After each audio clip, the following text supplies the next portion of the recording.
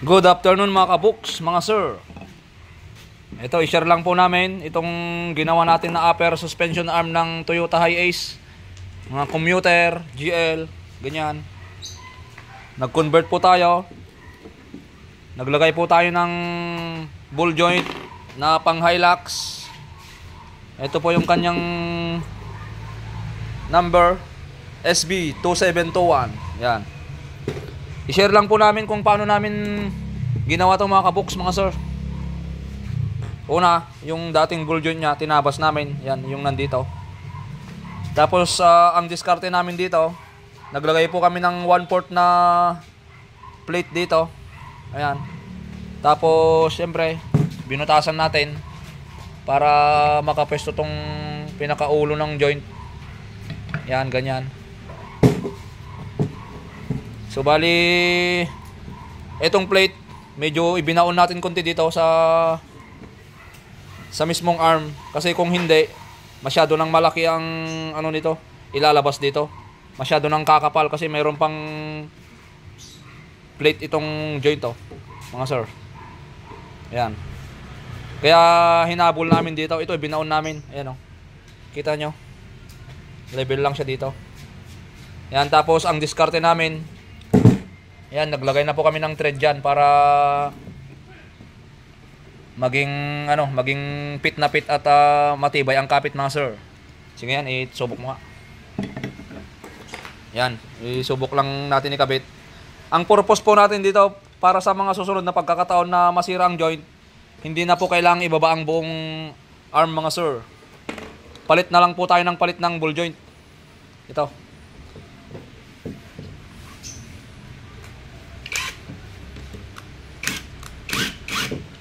Yo. Yan. Shout out nga pala sa gumawa niya no, si Ian. Yan ang kasama natin na tagabanat ng mga ganito. Yan o. Ganyan po ang itsura niya ngayon. Kapag naikabit po yung ball joint. Yan.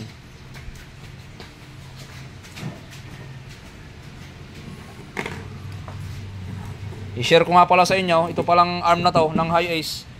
Napakadalang pong masira ang bushing. Yan, yung big tsaka yung small. Kaya gumawa po tayo ng paraan kasi mga car owner, syempre, nabibigatan din po sa presyo nito para hindi sayang. Ganun na lang po ang way na ginawa natin. Madami naman pong gumagawa na po nito. Kaya mainam na din po ito kasi Meron po naman pong Akma na joint dyan na pang Toyota din. Ayan o, apat ang bolt niyan. Tinagos na po namin ang butas para sa mga susunod na pagkakataon. Hindi naman natin kasi masasabi, baka masira ang thread. So pwede pong maglagay ng nut sa dulo tsaka mas mahabang bolt. Tapos itong dalawa na ginawa namin, pinalabas namin dito, pwede po tayo maglagay ng nut, mga sir. Ayan. Tapos, uh, ano pa ba? Itong butas na to, Baka may meron pong magtanong bakit po may butas diyan. Ayun oh, kung inyo pong titingnan, may fitting 'yan. Kaya po namin nilakyan 'to dito. I-pesto mo nga 'yan. Yan. Kaya po namin nilakyan 'yan para itong pang ano, pang grasa. May lalagay po ninyo. Ayan oh. May pupesto 'yan. Maluwag po 'yan. Para po mapangalagaan itong joint, makakapag palagay po kayo ng ano, grasa, mga sir. Yan. Pakita natin yung mga uh, tiradang Ian Reyes. Yan. Oh.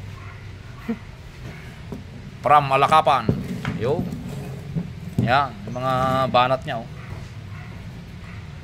Kaya po namin ipinakita na wala pang pintura para matingnan po ninyo ng maigi na okay naman po yung gawa. Pero syempre hindi naman po tayo perfect gumawa. Kaya meron din kunting challenging dito. May mga challenge din kapag uh, magkakabit po kayo ng ball joint. Ito po kasi yung ball na to. Meron pong stud dyan na nakakabit. So yung butas medyo saktong-sakto lang. Tapos manual lang naman ang paggawa natin dito, mano-mano. Kaya syempre yung mga butas nito hindi natin mape-perfect yung apat na yan. Kaya ang ginawa namin, itong ball joint medyo niluwagan lang namin kunti yung butas niya. Medyo kinikil po namin mga sir, pero hindi naman siya ganun kalaking bawas. Yan, ganyan po itsura niya. Sana makatulong po ito. Available na po sa atin to sa mga gusto pong ano magpagawa.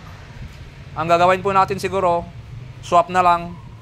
Siyempre titingnan ko po yung pyesa po ninyo kung okay pa yung mga bushing. Palit na lang para diretso kabit pagka nandito na po kayo mga sir. Tapos sa susunod na magpagawa po kayo, ball joint na lang. Ayan. Ganyan po itsura niya. Ayan. Itsura niya. Hmm. Ipakita natin ng malapitan.